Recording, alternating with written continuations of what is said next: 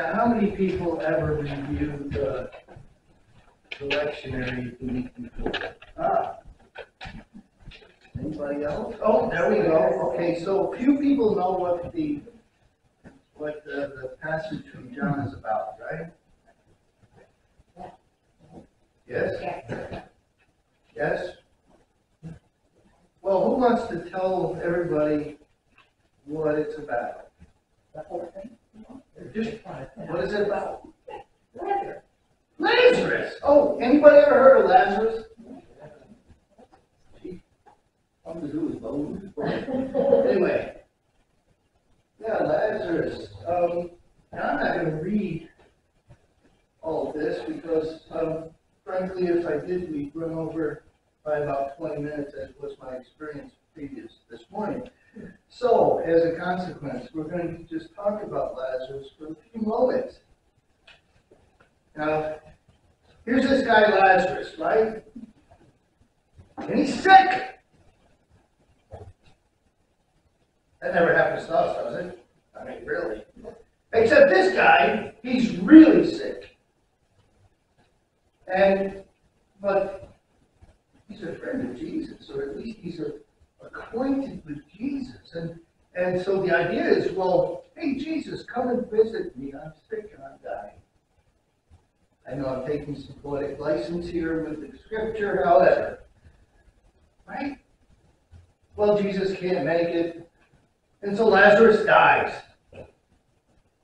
Man. And Jesus is sad. Because he knows Lazarus is dead. He's sad, and so is everybody around him, and so on. And so Lazarus is dead for, anybody? Ah, sorry, no, back here. Four days. Now imagine, this guy is dead for four days.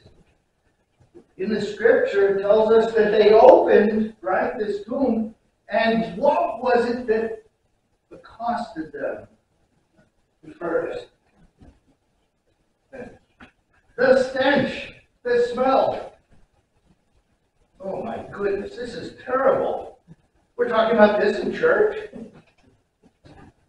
But it's true, right? This, okay, this guy's been dead for four days. What do you expect? They laid him to rest. But what did Jesus do? He went out? Well, he didn't go immediately, and then when he arrived, Yeah. you wanna know what he did when he arrived. Yeah, what did he do when he arrived? Well, he resigned with them, who he was, and Ah, told them that your brother will rise again. oh my goodness, he actually said, that- wait a minute, this guy's been dead for four days. How can he possibly rise again? Now, we know that's impossible here, don't we? No, There you go. Gee, what, what, what happened in this story? Jesus goes in, right? And says, hey, you guys stay there. I'll be just a minute. And who comes walking out? Lazarus. Alive. and well, And well, walking around. You can't tell me that all things are not possible with our God. So, hmm. let me jump back to our lesson in Ezekiel. Because we have this neat, I mean, if anybody wants to come up and look, I mean, bones. My goodness. What's interesting is the first time I read this Ezekiel passage, I was, I was reminded of worship service. I was reminded of my early experience with worship, where people would sit in the pews year after year like dry bones and do nothing. Now, that doesn't sound like anything we're familiar with. I mean, I used to amuse myself. It was great. I, you know what a bulletin's for, right?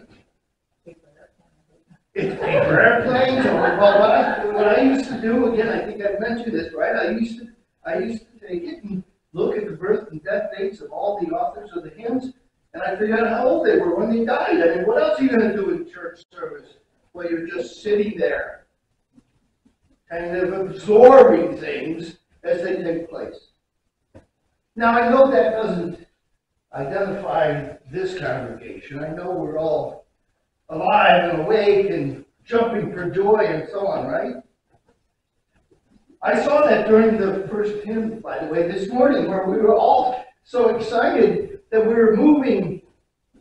Well, maybe not quite moving, but maybe smiling at least, right?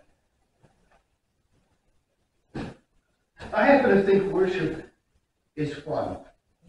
It's a time when we should be excited and so on. Not dry bones, but let's think about this.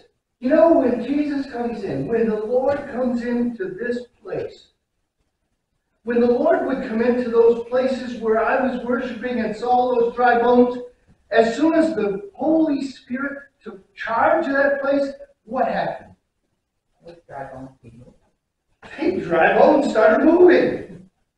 My goodness. I know my dry bones sometimes have difficulty starting, but anyway. I know. It's like especially. Oh, I can't help it. I, you know, like getting up in the morning first thing. Right? I, I go to roll out of bed. Doesn't work too much anymore. I actually have to throw my leg up in the air and throw it back down in order to get enough force to actually sit up.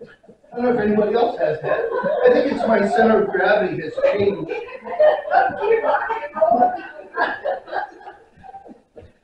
Hallelujah, praise God. I, a similar occasion. Boy, I can relate. You see, you see, sometimes we just need that little extra motion to get us started. And that extra motion, by the way, is the Holy Spirit that comes and moves within us. We're not mere dry bones. We're alive.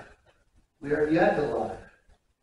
And we're especially alive because of the Lord God who loves each one of us. You know, Jesus was, was somewhat upset at the death of Lazarus. And, and he got there and he did miraculous things. Our God loves us so much that he's upset when we suffer, we face adversity. He wants to be there with us. And yet often we are like the dry bones. We are unmoved by the Holy Spirit touching us. So my brothers and sisters, I, I suggest that, that we be looking for that Holy Spirit working in us and through us and touching others in everything that we do, in every way. And when we do that, we are no longer gonna, I'm gonna attempt this.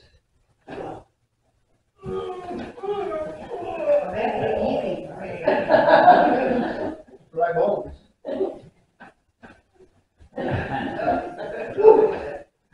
It worked, I got up.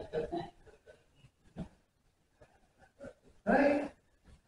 We're so relaxed sometimes that we just can't get excited. Now, I know, you're all expecting me to sit here and say, okay, now I want everybody to jump up and do a couple of jumping jacks or whatever. Ah, yes, I can see the the looks of joy on the faces of everyone at that prospect. We don't need to stand and flap around. We don't need to do that. All we need to do is have our heart quickened and be changed. And feel that spirit moving in us and have us go forth from this place and touch others. And for me, when I read these lessons, I found that our church, our church over the years has gotten complacent. Have become, as a church, dry bones. We haven't had the mission to go forth and touch people. If we look at the early Wesleyan movement, what did they do? They went out and went into fields and, and preached.